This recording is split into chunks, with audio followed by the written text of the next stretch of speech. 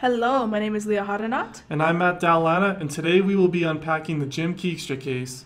In 1984, Jim Keegstra, a high school teacher, was put into the public spotlight of both the media and the criminal court when it was found that he was teaching anti Semitic propaganda to his students in his social studies classroom, including denying that the Holocaust ever happened and forcing his students to agree with his views in their essays and classroom discussions. His resulting dismissal, revoking of teacher certificate by the ATA, and eventual criminal trial began a roaring debate across both the courts and public whether freedom of speech is absolute, what constitutes hate speech, where to draw the line between freedom of speech and protection of vulnerable minorities, and whether a law against hate speech can be realistically enforced. Initially, Jim Keegstra taught in the local high school in Eckville, Alberta for 14 years. He also served as an auto mechanic and at one point served as the mayor of Eckville. He was described as being well liked by students, staff, and the general community. However, his teaching practices in his classroom were generally not well known. Aside from his students, few people realize that Jim Keegstra is teaching that the Jewish people are simultaneously in control of capitalism, socialism, and communism in a plot to destroy the Christian way of life. His descriptions of history were generally treated with apathy. It wasn't until a concerned parent, Susan Maddox, launched a complaint against Keegstra in 1981 after noticing anti Semitic themes in her son's essays that an investigation was launched. Keegstra was warned to stop teaching his Jewish conspiracy theories in the classroom, and when he didn't, he was fired by the school board in 1982. In reaction, the ATA pledged to support Keegstra and appeal his firing.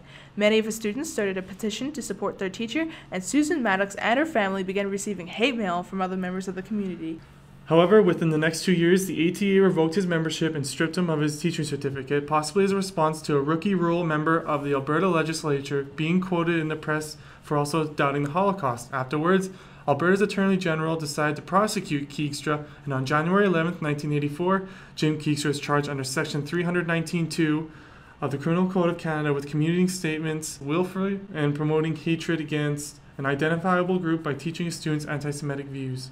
Keegstra initially applied to quash the case, saying that this charge violated freedom of expression under the Charter of Rights and Freedoms, Section 2. He also stated his presumption of innocence under Section 11 of the Charter was violated by the Criminal Code, which affords a defense of truth to the willful promotion of hatred.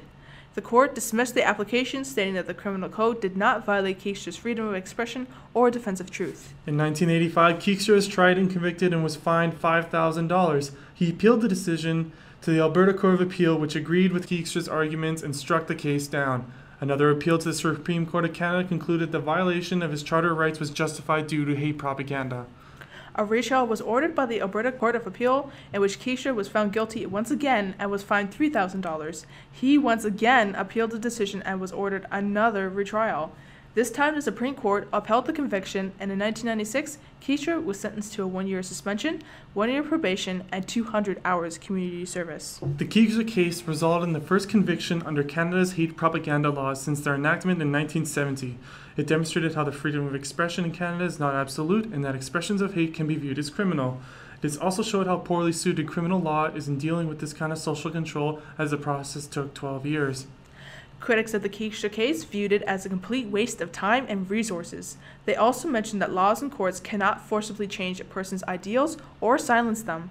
Keegstra was still active as he became the martyr of free speech to some people and even became leader of a federal government party in 1987. However, the Keegstra case has helped Canadians realize that criminal prosecutions are not the best way to discourage offensive speech. Paula Simon stated that we must fight lies with truth and fight ignorance with knowledge. Since we cannot silence all the evil speech in the world, we must instead teach our children and ourselves to think critically and debate freely.